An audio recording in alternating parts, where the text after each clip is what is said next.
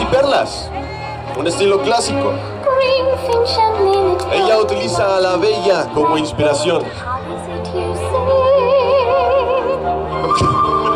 ¿Cuál bella? No sé.